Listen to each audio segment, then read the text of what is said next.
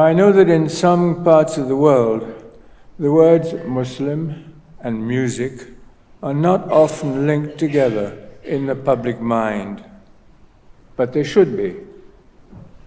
The cultural heritage of Islam has long embraced musical language as an elemental expression of human spirituality.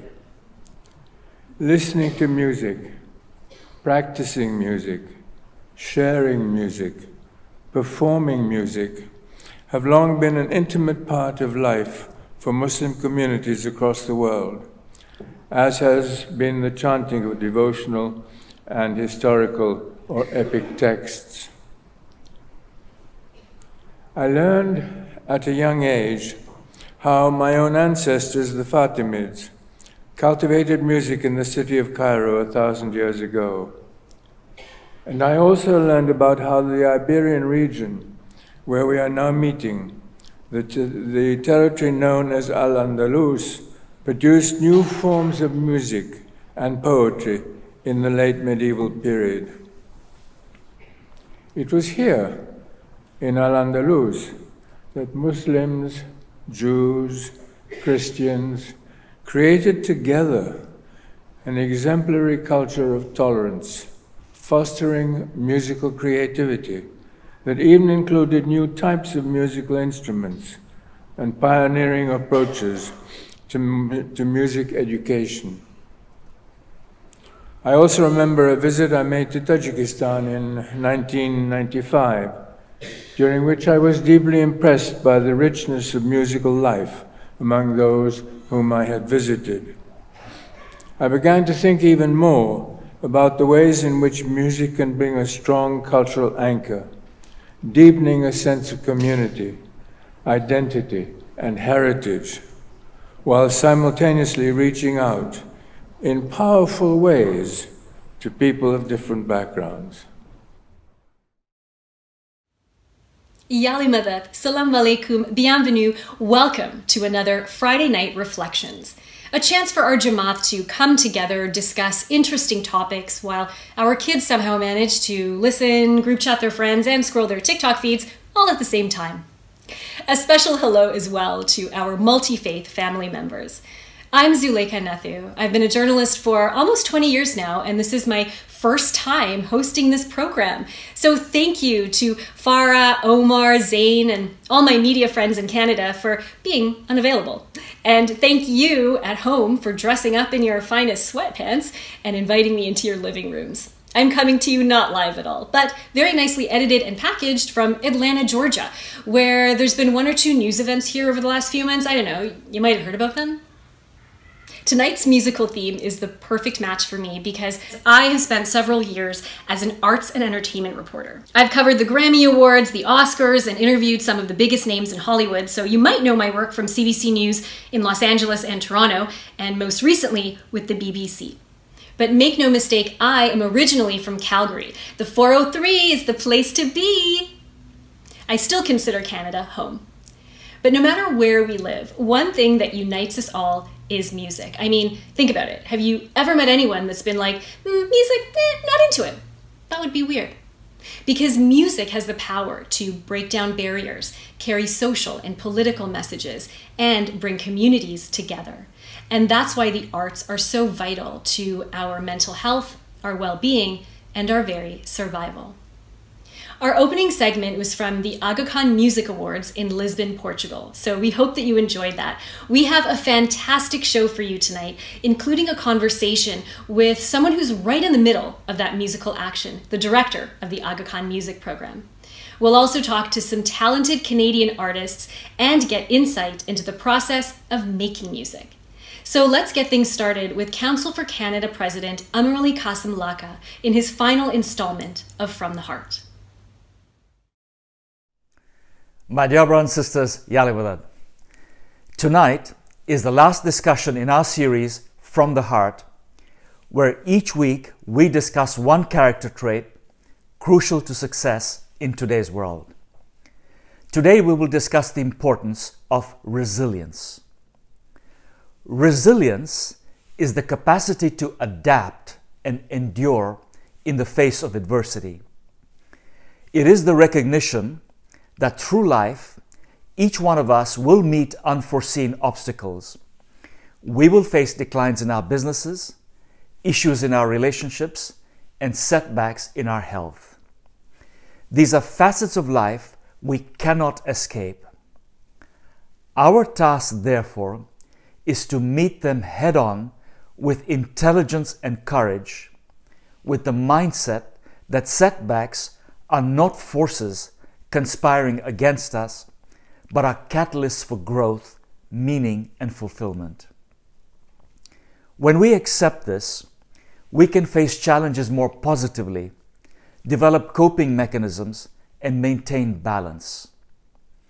Let me highlight three approaches we can take to build resilience optimism, mindfulness, and faith. Let me start with optimism. Optimism is a lens through which we can view the events of our life, of having hope and confidence in the present and future.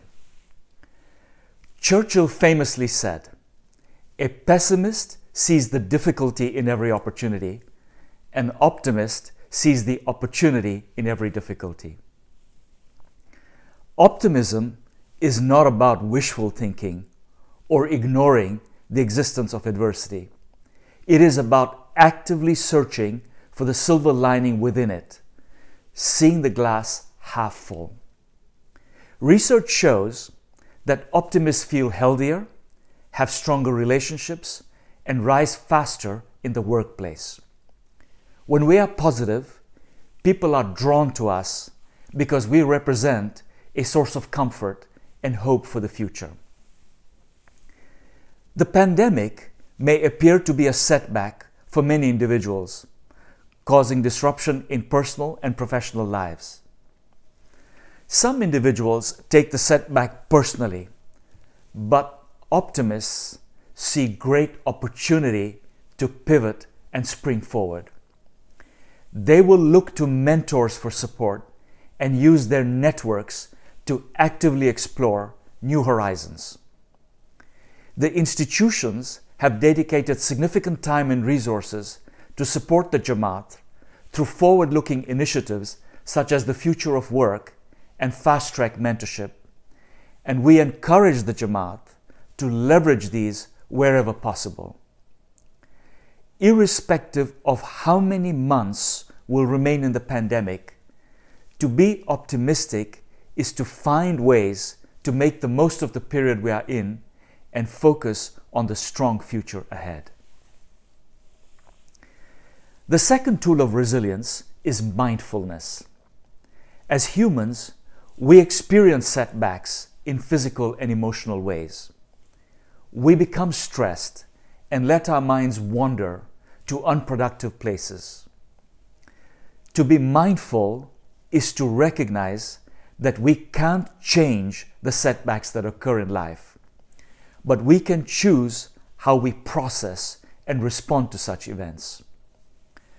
When we are mindful, we are present, we are in the moment, we are intensely aware of what we are feeling in any given moment so we can control how we internalize the event we are experiencing. People who view setbacks as an indication of personal failure allow it to pervade all aspects of their lives. However, those who are mindful recognize that setbacks arise from situations outside our control. They aren't personal, and so we don't let them define our health, our relationships, and the narrative of our lives. Finally, perhaps the most powerful tool to develop resilience is faith. Faith puts our problems into context. It reminds us that we are in this world for a broader purpose that is beyond the day to day ups and downs of life that we experience. Maulana Sultan Muhammad had said, Failure should be forgotten and new efforts made. Despondency is a sin and hope a necessary part of faith both for material wealth and above all, for spiritual enlightenment.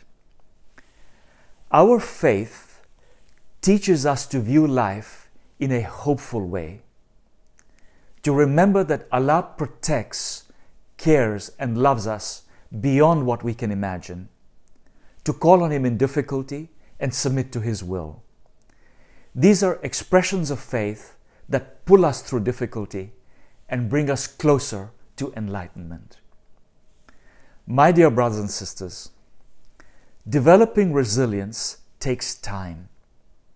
It is something that may come easier to the older members of our Jamaat because they have a longer perspective on life and have experienced its ups and downs. Resilience doesn't always come naturally to our children experiencing setbacks for the first time. Let us help them understand the importance of qualities of self awareness, self control, and being calm under stress. Let us strengthen their resilience through goal setting, embracing change, and activating positive emotions. Above all, remind them that in times of difficulty, it is important to stay connected with sources of support, be helpful to others, and cultivate an attitude of survivorship.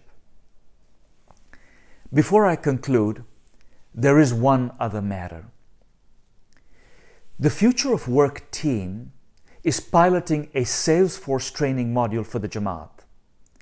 Salesforce is a cloud based software providing customer relationship management service, marketing automation, and analytics. After completing the training, participants will be employable as Salesforce administrators, a role that is currently in high demand. This pilot is the first in a series of certification programs we endeavor to bring to the Jamaat and will be implemented with partners who are seeking to hire.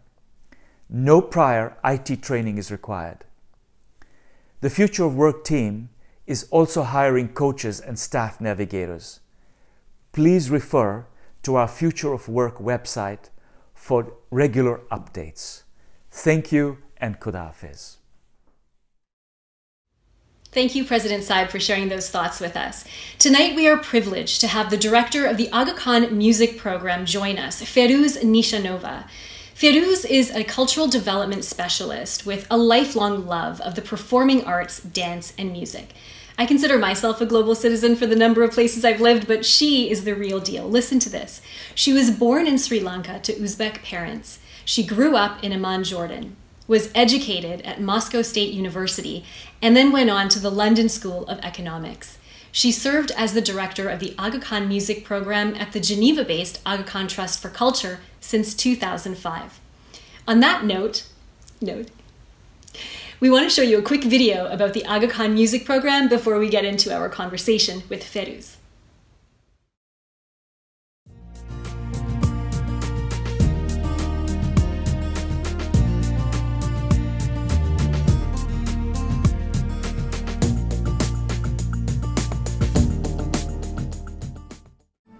If you want to go north, go south. And that more or less describes the circuitous path that has now led finally to the implementation of the Music Awards. It was back in 2001 that my brother launched in Central Asia the Aga Khan Music Initiative, as it was then called, with the aim of helping to preserve and revitalize traditional folk, classical, and devotional music in the region. The Aga Khan Music Initiative has been a pioneer in the emerging field of cultural development. It was given a mission to help revitalize musical traditions that had been in many ways devastated by the experience of, of the Soviet Union. So we went and dealt with what was needed the most, and that was the revival of traditional and time-honored method of music education, the master apprentice or the Ustad Shagird. And then, because we live in the 21st century, we had to not only revive it, but also make it relevant to the kids, the students of today. It's a three or four day event that offers a panoramic view of the artistic excellence throughout the world of the Great East. And I'm so happy that through the vision of His Highness and Prince Amin, it was the city of Lisbon that was chosen to celebrate the first awards. Because historically it made perfect sense. It's literally at the crossroads of the great Western and Eastern civilization. Fairouz, thank you so much for joining us today. So let's get right into it. First of all, what makes the Aga Khan music program particularly important now and in these times? Hi, thank you so much for having me. It really is a pleasure and an honor. And um, I think as a disclaimer, I need to say that my work is not work. It's, it's pure passion and dedication. So I would celebrate its importance on the daily basis and uh, uh, not necessarily at, at, at the time that is considered challenging for so many of us. And I think what really makes the, the, the, importance and underlines the importance of the music program at this particular moment is that we begin to understand that the concept of music and art as pure entertainment is completely false. And especially for so many of us um, who come from the East, if we divide the world into West and East, then historically in the East, music is not something that was ever viewed as just only entertainment, some, something that you buy a ticket to go to and listen to for a period of time. On the contrary, it was and remains something that is an instrument for the history to be passed down from one generation to another. This is how um, the rituals, the norms of behavior are, are, are explained and taught. This is also how storytelling is celebrated, right? This is what separates us human beings from all so many other forms of life. The music program um, because it started so many years ago and because it started without a dictated kind of format, it was able and it, it, it was given the permission to evolve and to change with the needs of our main beneficiaries, with the needs of our audience. Because it's something, it's, it's, it's a program that is so much alive and so much in touch with, with those who are its main consumers. Um, it's, um, it, it, it gives comfort, it gives education, it gives mentorship, it gives healing, and it answers very difficult questions, difficult to ask, and sometimes even more difficult to answer. It answers those questions at the time when those answers are most needed. You mentioned comfort and healing, and I'm wondering how you see music helping people right now cope with some really deep seated emotions like anxiety and a little bit of sadness and loneliness. How do you think music uh, can help people through those situations? Very much, very much so. I think I was always on some level aware of how powerful um, an instrument music is and music education is. But I think I really came face to face with it when back in 2012 and 2013, the music program, we were already quite established as music educators and mentors.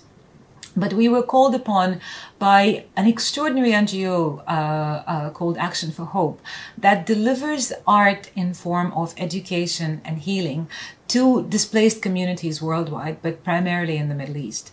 And what I saw face to face is that a child who went through a particularly difficult form uh, or, or a, a repercussion from an armed conflict is usually unable to say what exactly happened to them. If you ask them to dance it or to draw it, to paint it, um, uh, to sing it, to play it, even if they don't know how to play a musical instrument, somehow that difficult story comes out. And once it's out, it stops being a poison. It stops being something that controls the lives of, of, of, of a person. When, you know, when the problem is not fully dealt with, it becomes something akin to a poison.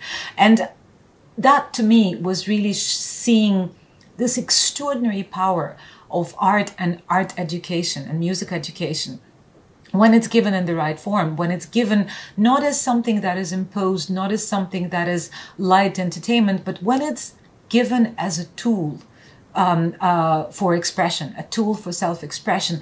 It, its power is is exceptional and extraordinary, and I'm so privileged to be able to continue making sure that this kind of toolkits are available to children and adults worldwide in all the countries in which AKDN works, but even beyond that through those extraordinary means of communications that all of us have become so familiar with in the last few months.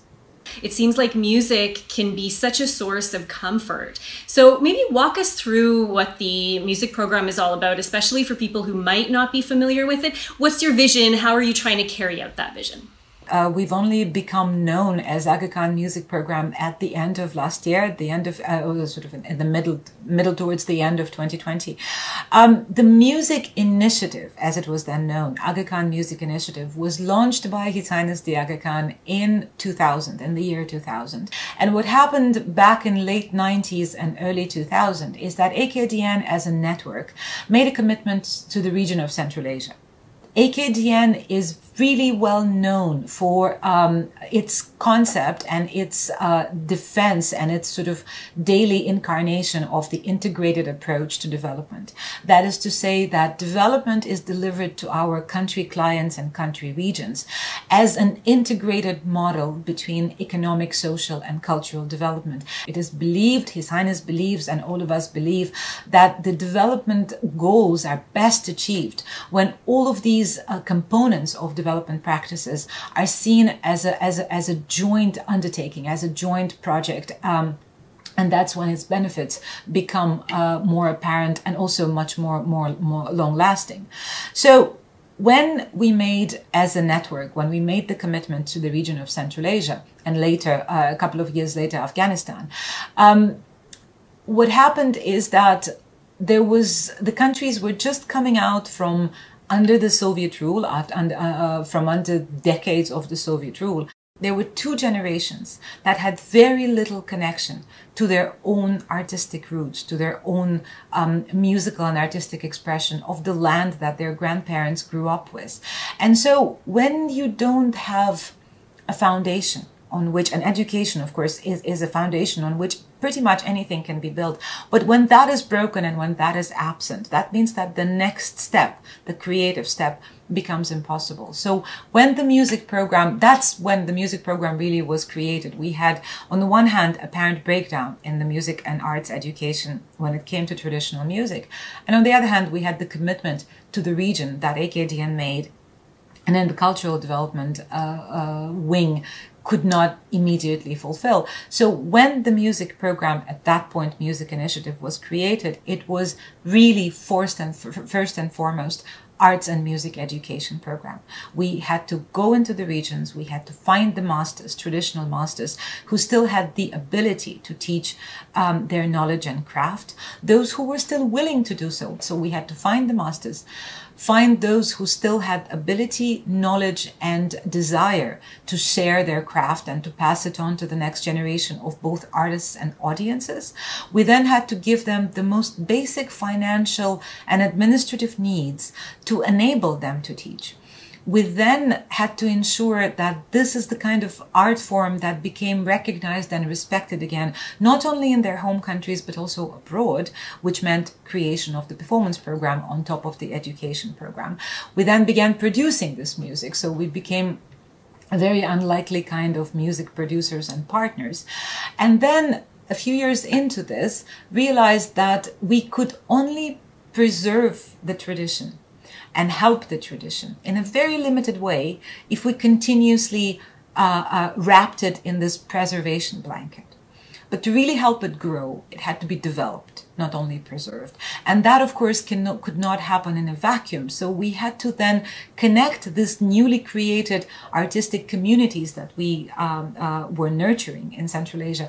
We had to connect them with the arts communities and musicians and creators in the regions and countries that they always shared historic connections with. So we became the promoters of East-East fusion and East-East music creations, which is something that we continue to do today. I find it fascinating that you know, you have people who have endured so much and have seen and witnessed so much conflict, and music is so central to their lives and uh, their fulfillment that they are willing to do anything to make it happen in any form. And I want to bring that idea a little bit closer to home now because what I find in a lot of our communities, especially in the West, is I hear and I see a lot of focus on, uh, especially families wanting to steer kids in very traditional um, careers or métiers, you know, doctors, lawyers, engineers, that kind of thing. And music is often a very um, kind of footnote in people's lives. And I'm curious if you can offer some advice. What what should families do when they see that perhaps their child is gifted or has such a passion for music. How can we as a community support um, musicians to realize that potential? Oh, that is a wonderful question, and I, I, I wish there was a single answer that could uh, that could sort of put everything in its in its order. Look, music and musical arts are particular in a sense that any other profession you can pretty much learn no matter how difficult it is to become a lawyer uh, or a, a, a, really good doctor, um, it's something that after years of learning and after years of practice could be coaxed into becoming your own. It could be coaxed into becoming a profession. That cannot be done in um, the creative sphere of music and musical arts unless there is a talent that needs to be shaped in the very beginning. So talent is something that is either given or not. It's it's also given to a, to a very um, gifted surgeon or or, or or physician. But musical talent, in my experience, is something that is very difficult to contain. And those who are lucky to be in a possession of that talent usually are almost unable to control that. It's something that has to be expressed. It's something that has to be learned. And we as community, as parents, the best that we can do is to give those who are so gifted the ability to learn the basic tools of that language that they already possess, but not necessarily know how to use. So as long as we give them an environment that is both nurturing and supportive in helping them understand what are the basic steps in learning the, the, the, letters of this new language that they seem to speak then the talent will speak for itself. And uh, there, there, there's so many there's no need to limit uh, our ability to learn to a single profession. Um, they're, they're, wonderful politicians who remain extraordinary artists, and on the other, and, and vice versa, they're wonderful, gifted artists who later become masters of another profession. I think as community, we need to recognize the basic and most important role of the arts in any community. It's so interesting because one of the beautiful things I think about AKDN that really separates it from other international development networks is that it has very long-term goals, right? And I'm just curious how in in that kind of scenario, how do you measure success with a program like this? Because culture and arts um, is so subjective. And so when you feel like you have taken flight or artists that have worked with you um, are doing really well, how, how do you measure that? Is, is it, you know, they, they get a recording contract, they can make a career of what they're doing, they can collaborate with Beyonce and Jay-Z, or is it just that they're happy doing what they do and can maybe inspire people in the future? What is your measure these days and looking ahead of success for the program? That's a, that's an extraordinary question. Well put. And they, they do collaborate. Uh, one of our the one of the winners of the um, Aga Khan Music Awards in uh, 2019 um, dropped away from communication for a little bit, and I was wondering what was happening with her. And she explained to me that she was uh, working on this collaboration, and she wasn't quite sure um, who the person was. And uh, to cut the long story very short, she was featured on the lead single of Beyonce's latest um, album. So that. Probably for a Westerner, that is. I just use Beyonce as an example. That is so that cool. is, that is quite a measure of success. But I'll, I'll tell you a story um, that happened to me back in 2008, I think, or 2009. We tried celebrating this new form of art that we were so um, um, happily. Uh, cultivating and and and uh, creating. We tried celebrating it through putting it on stages in the West because you know it's ironic that the uh, recognition abroad very often brings respect at home. So we tried celebrating it on Western stages, but the stages that were not known for presenting the kind of music, the kind of art that we were um, uh, putting on those stages. So instead of going to the places that would readily welcome um, sort of not very known form of music, we wanted to put it on grandiose stages, such as Carnegie Hall, such as the English National Opera, such as Théâtre de l'Odéon in Paris. And um, once the invitation from Carnegie Hall came in, to me, as someone who grew up mostly in the West, that was a given because the position and the reputation and the prestige of Carnegie Hall is not something that you ever question. You get the invitation, you, you go there. And I was surrounded by artists from six different countries from the, the, the, the Silk Route region and one of them who was from Kyrgyzstan and he was the most extraordinary epic storyteller epic story narrator. He uh, he received the date and he nodded and then he looked up at me and said i can't make it on that date. And it was about we were about nine months away from the event and i was sort of astonished and i asked him what was so important that he couldn't make it to the performance at carnegie hall. And he said well three villages down from mine there is a storyteller competition a manaschi competition my great grandfather, my grandfather, and my father have always competed in that in that uh, in that village. It's once a year, so I have to be there. If I don't go this year, I will have broken the tradition that lasted through generations. I cannot be allowed to do that. I will not be respected and recognized. And how will I be able to teach after that? And it was such an education for me because for him, something that happened miles away on the stage of Carnegie Hall was of no importance whatsoever. But the reputation he had in his community as not only carrier of the tradition, but also educator was not something that he was willing to compromise. So I learned a lot in that instance. I love that story and how one thing that's important to one artist might not mean the same to another one. I'm curious if we take a step back now and try to look at the bigger picture with political divisions, how can music help people to understand each other better? Well, the extraordinary power of it is that it, it is unable to show the hidden faces, the, the faces of a community that are so often completely marred by conflict, by negative um, publicity. If you were ethnically an Easterner, then you'd be forgiven for thinking that East, global East, is something that is a continuous and permanent source of either conflict or um, uh, disruption. And you'd be forgiven for no longer knowing that historically the global East served as a cradle of so many creations and so many discoveries, be it in art, be it in music, be it in poetry, be it in astronomy or medicine. And I think this is the kind of heritage that is not only to be celebrated, but it's also something that can give a community, a country, and a region completely different level of understanding. That's why for us, uh, it was so important to create the Aga Khan Music Awards which celebrate excellence in the arts and excellence in music for anyone, no matter which nationality, which, which, which geography, which part of the world that person were to come from.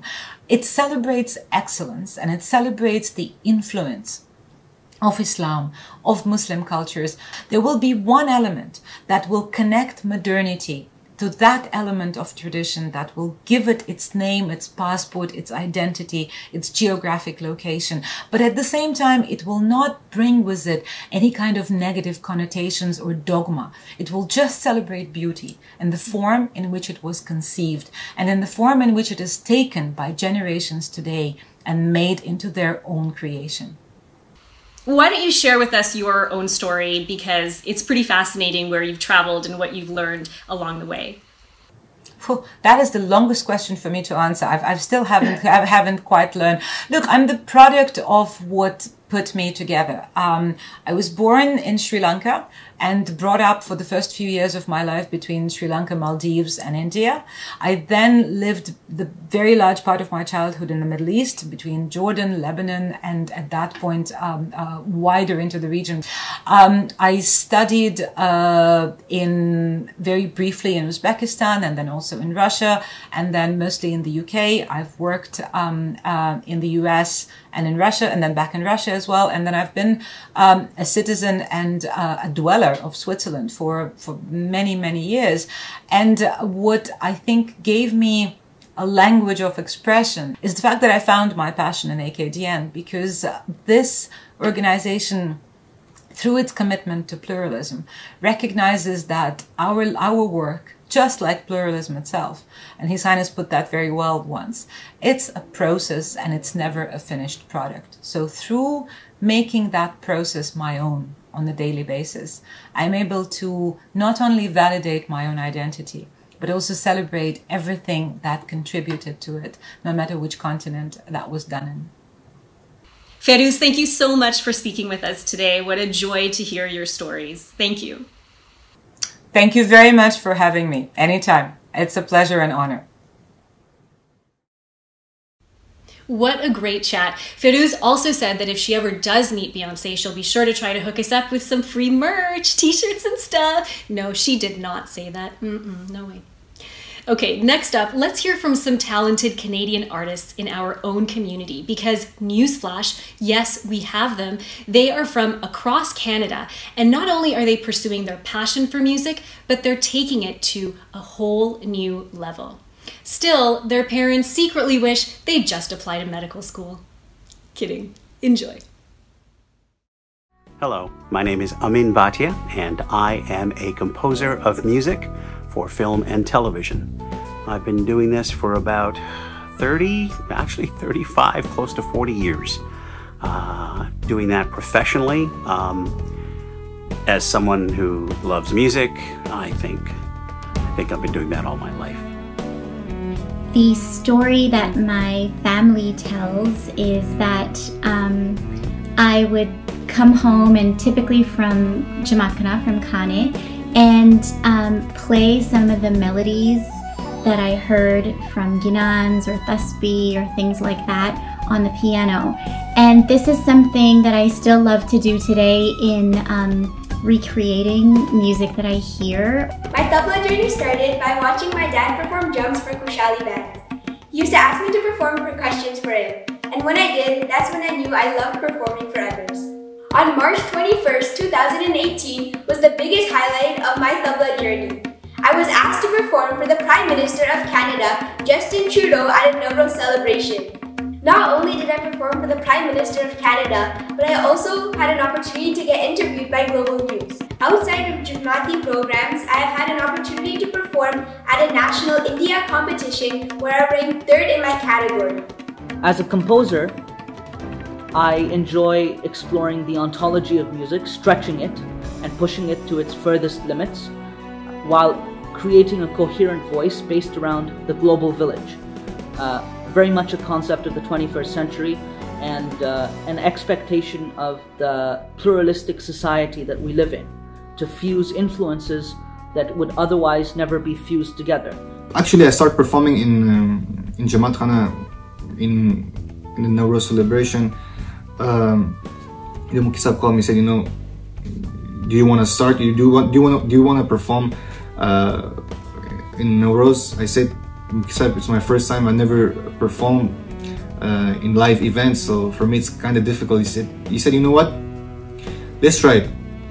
And after that, I got got a lot of positive comment from Jamaat. They said you have a great voice. They said you're singing very good. So after that I get I got more, more motivated and I started singing more. As my interest in Indian classical music grew deeper, I realized that I needed to go to India to study the tradition uh, further. And my guru, my mentor here, was also encouraging me to do the same.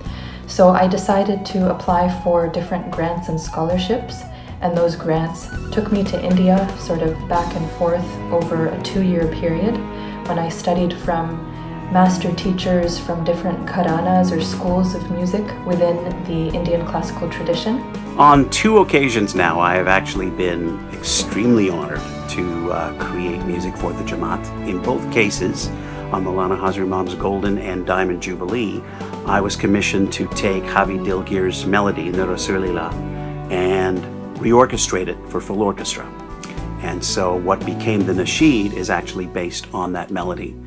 And in both cases, I got to work with uh, orchestrators and engineers and producers and, and then a full-size symphony orchestra in creating the anthem for Maulana Hazar Imam. And then a few years ago at the Diamond Jubilee, actually performed it at Aiglemont with, uh, with a hand-picked group of musicians. I'm also humbled by the art forms that I continue to practice. Um, Kathak and classical piano both, and just piano as an instrument of incredible musical capacity, potential, they both uh, have this ability to get me both really down about things I can't do on my instrument, whether it be the piano or even my feet, and then incredibly just euphoric when I've achieved something. And so that humility, I think, is one of the um, you know through through lines of of being a musician. So I've been very fortunate uh, that the timing of uh, my career corresponded with a lot of a lot of things uh, in the Ismaili community. So. Um, uh, I was asked to play at the uh, Direct Energy Center when Hazar Imam came to uh, open the Aga Khan Museum. Salim and Sulaiman were very kind enough to choose me to to join them the, in Dubai for the Jubilee Games, and I got a chance to work with them and perform for the closing ceremonies. Um, I also managed to uh, to be uh, selected to play for the Stories production, which was. Um, which toured actually all of the United States with uh, 20, 20 or 30 artists from all over North America. So I was very fortunate to be able to do that. So yeah, I've had a number of opportunities. It was incredible. Uh, just amazing. Um, because what it allowed me to do was to connect with people in a way that otherwise I would never have had the opportunity. Um, and uh, you know just the sense of for example at jubilee games performing for 15,000 people in the stadium knowing that it was also being streamed to you know a quarter of a million people around the world i mean there's no way that you can recreate that or even how do i even put that into words except for wow. Probably i was uh, 13 or 14 years old in karachi and uh, we all dressed up very nicely and it was in, Sheraton, in the Sheraton Hotel and uh, we played there and Hazar Imam walked past and so those were some really exciting moments and I'm so ever so grateful that uh, the way I was uh, looked after by my brothers and my sisters and the whole Jamaat like when I was performing uh, for the orchestra in Garden uh, as, as a very young young boy so I, I, I think I owe that to that you know that love was instilled in me uh, from a very young age uh, from having those wonderful experiences. I had the opportunity and the privilege to participate in Jubilee Arts where I presented a spoken word art installation which also consisted of me playing musical instruments. And it was under my alias Infinite Possibilities. I thoroughly enjoyed the gala at the Aga Khan Museum where I got to meet fellow artists and collaborators who to this day I cherish. As such, I think Jubilee Arts was a, a very important initiative that, that uh, the Imam has undertaken and I'm looking forward to the next Jubilee Arts and, and looking forward to meaningful ways to contribute on some level. So uh, my grandma always say that, uh, I'm gonna say this in Farsi, that uh, music rura zinda What means, so the definition is that music makes souls alive or happy. So this is my lesson from uh, from singing. I know that sometimes people uh, say that uh, about music that uh, it's it's a it's a it's a universal language, uh, and I feel it's actually a language at a soul level. Um, that uh, you know when you listen to music, we all understand without really understanding what, you know, whether this music is from Japan or China or Morocco or Argentina.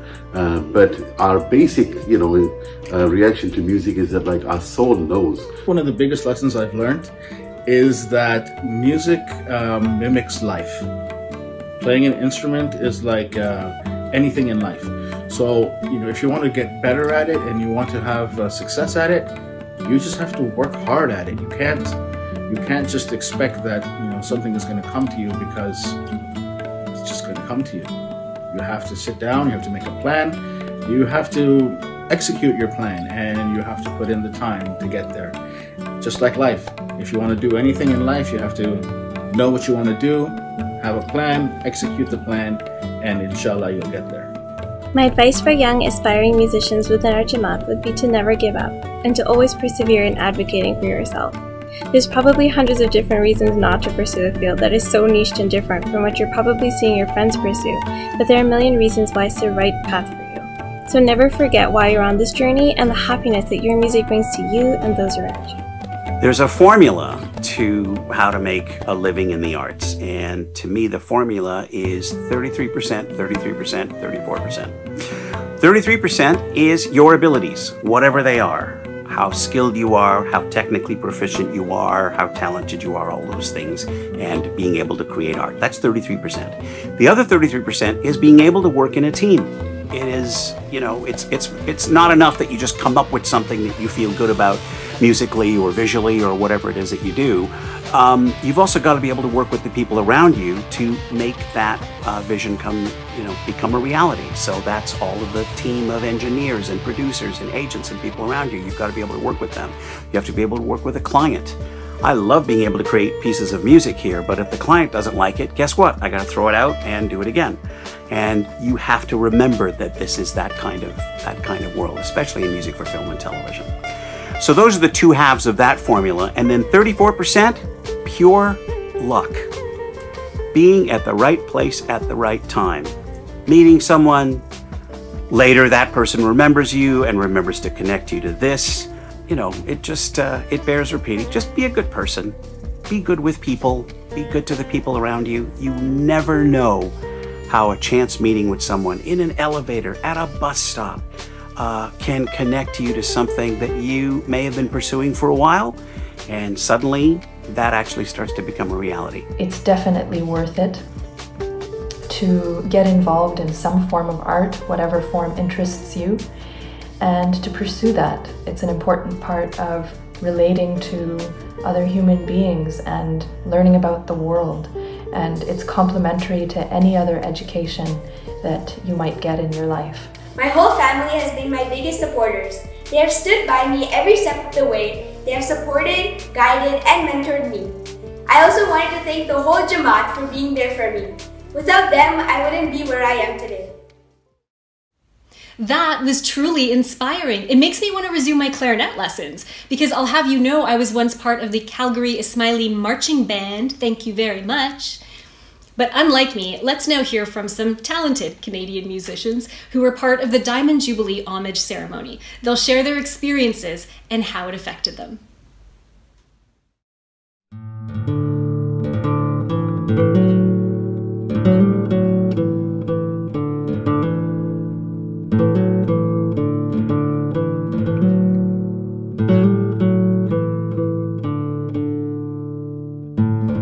Remember that moment so very clearly. I was actually doing my dishes at the time, humming to myself as I usually do, and my phone was nowhere in sight.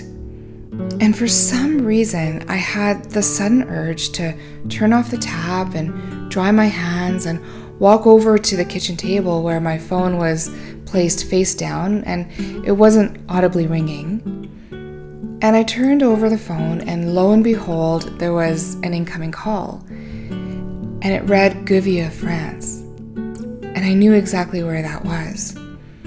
And so I recall taking a deep breath and sitting down, answering the call, and speaking to the wonderful and kind voice on the other end.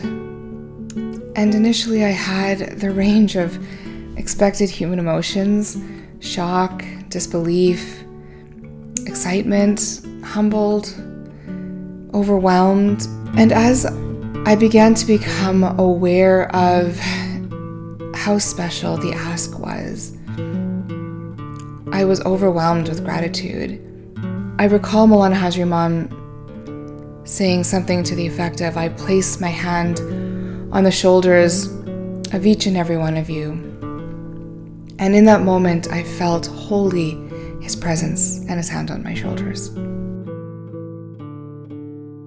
When I first found out I was invited to play at Aiglemont, I was shocked to say the very least. In fact, what had actually happened was I received a phone call, I answered the phone, and I was um, told about this amazing opportunity to be one of the performers uh, to present at the homage ceremony. And my reaction was to say, uh, That's fantastic, thank you so much. Can I call you tomorrow to let you know? And my wife, um, uh, who has passed away since, had mentioned to me, she said, Did you actually just say to the people at Aiglemont that you are going to think about this? And I said, yes. She said, no. You pick up the phone right now, call them back, and say that you would be very honored to be a part of the homage ceremony. And of course, I did pick up the phone right away and phone back and uh, tell them that uh, I was uh, immensely humbled and it was such a privilege. I, I, was in so much shock that I had been asked. I wasn't actually sure what was happening, and uh, I'm glad that uh, I was put to my senses and called back right away. Also, having been invited to be at Aiglemont, my nerves were shot. I was really, really nervous um, and realized that this was not only important for myself, but for my family, for the Jamaat, and if nothing else, this was the absolute most important musical endeavor that I would ever have an opportunity to be a part of. Our, our first couple of days at the conservatory, where we were practicing, rehearsing, creating, collaborating, they were nerve wracking. They were scary. It was it was meeting a new group of people and and needing at the same time to open up as soon as possible so that we could start working together and and creating creating a piece. And so we had you know Tajik, Syrian, Afghani, American, British, Canadian brothers and sisters sitting in a room needing to needing to feel confident in themselves and their own traditions.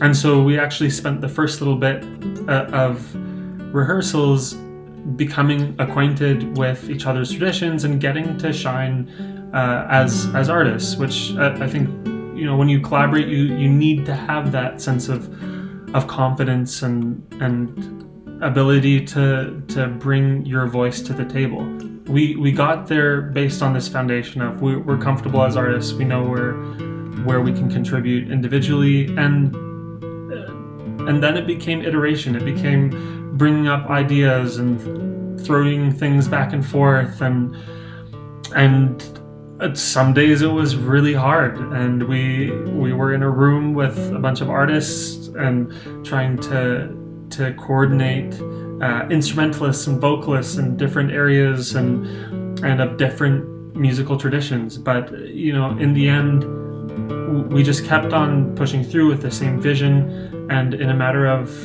you know, I think it was between uh, five and, and eight days, came up with a piece that that really reflected uh, many of the major traditions of, of the Jamaat. And so that that process was was eye opening in, in terms of how we work with others in general.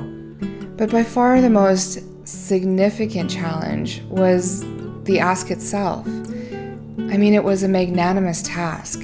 When you think about bringing together musicians from all corners of the world who speak different languages, coming from different music idioms, expressing, creating, learning, and teaching artistic ideas in a diversity of ways, whether that be by rote listening or notated music. And then to create a 20 minute continuous devotional piece to accompany our beloved institutional leaders in a symbolic march, one that is an expression of love and devotion and prayer and supplication and also one that would hopefully resonate with every Murid across the globe in some way at some point in time in that musical expression. It, it just seemed and is an insurmountable task.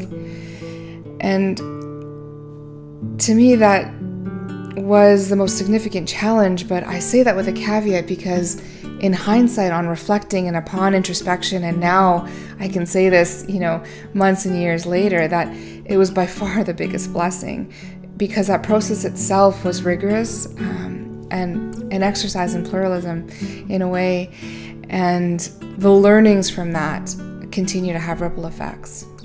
It was a really big highlight to be able to connect um, with with so many different people and to learn about their stories and to really realize that we really truly were and are one Jamaat.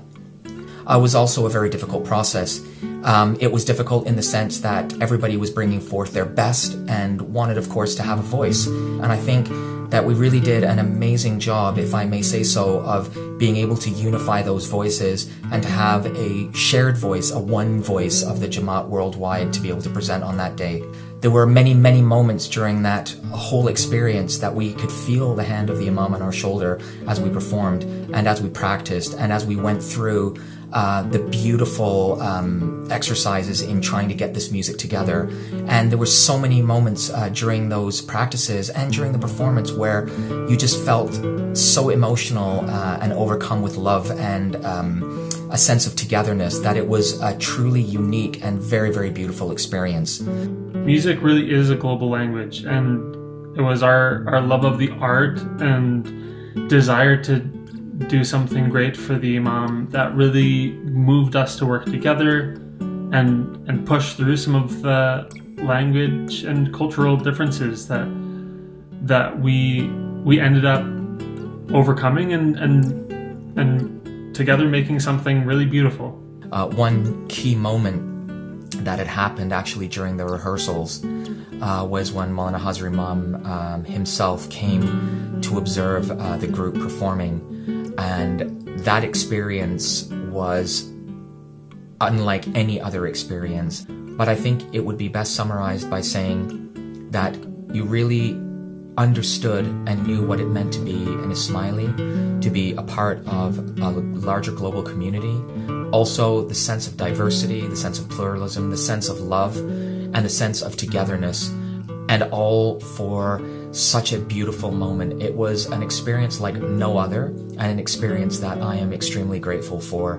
My spiritual journey still continues to this day because of that ceremony and has guided me in many ways musically and also in many other aspects of my life and has guided the type of person I wanted to become and the type of person I'm still becoming. I am eternally grateful for these moments.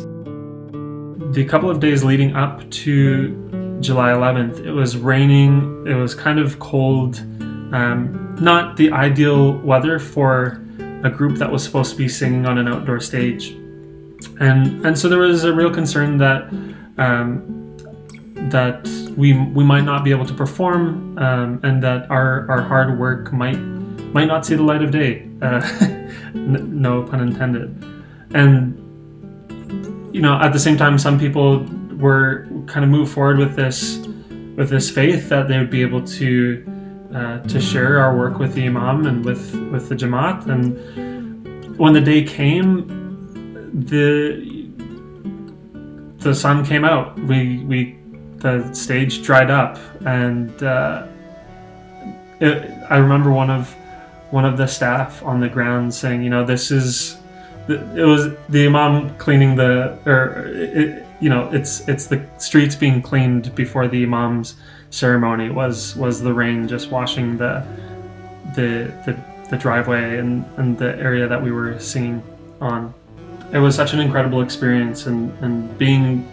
on the property amongst a beautiful forest um, that was really serene and calm and and uh, an experience I will remember for the rest of my life.